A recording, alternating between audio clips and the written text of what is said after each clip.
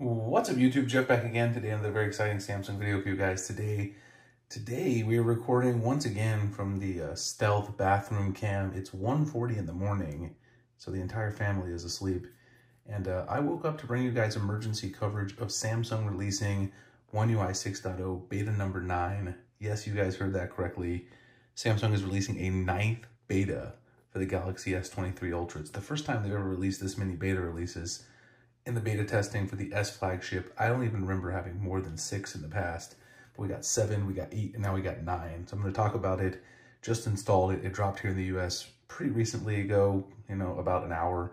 Um, and I woke up in the middle of the night and decided to cover it. So anyway, uh, before we get started, I do want to remind you guys about the mystery box program for the Galaxy S24 Ultra. If you guys are going to be ordering a phone in January from Samsung and you live in the United States, we do a mystery box program where you can get a free uh, case, a free cleaning kit, and also a free uh, desktop phone stand, as well as some other accessories. This is my brand new website, by the way, which we'll be launching later in the week if you guys haven't checked it out. This is where you can sign up for the mystery boxes now. We've got a brand new sign up page. If you're planning on ordering the S24 Ultra, tap right here, sign up for the mystery box. It'll take you to the subscription. It also shows you the past mystery box programs that we've done.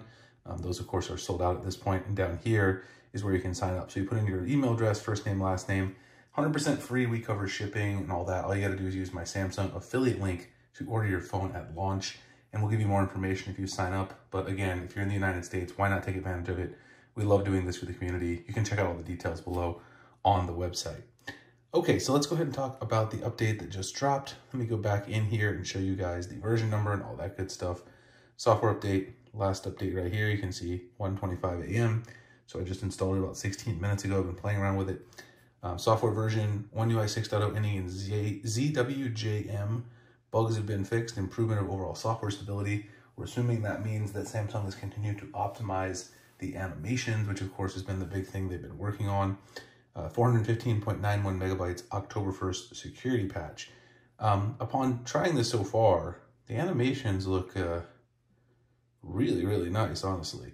I mean, I'm not someone who does the super fast in and out animations like Tarun and some of the other guys do on Twitter, but uh, I've been impressed so far with using these, the recent apps animation. Of course, I like to trigger Google voice when I do that a lot, especially here in the middle of the night when I'm half asleep. But I mean, overall, the animations have looked fantastic.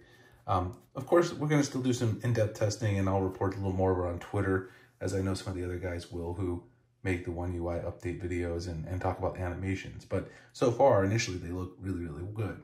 Um, no real other changes that I've seen so far, although there is one thing I did spot in the camera app that's something I hadn't noticed before.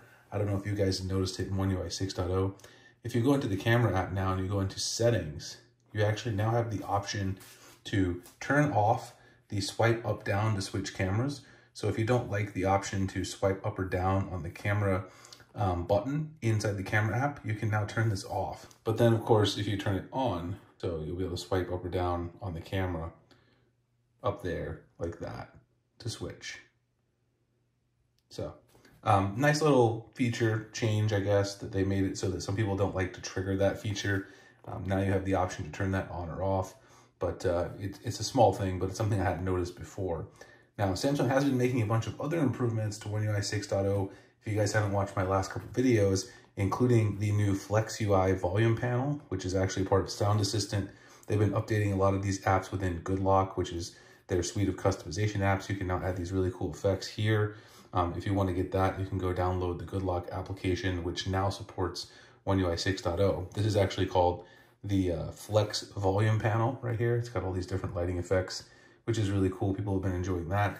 And another huge update that they made was to the Quick Star application in Good GoodLock, which now allows you to adjust the spacing between your quick toggles in the quick panel. So these updates have come via Good GoodLock, and I think there's a lot more coming to GoodLock, uh, including some new application updates like Edge Lighting Plus, which are slowly rolling out as well.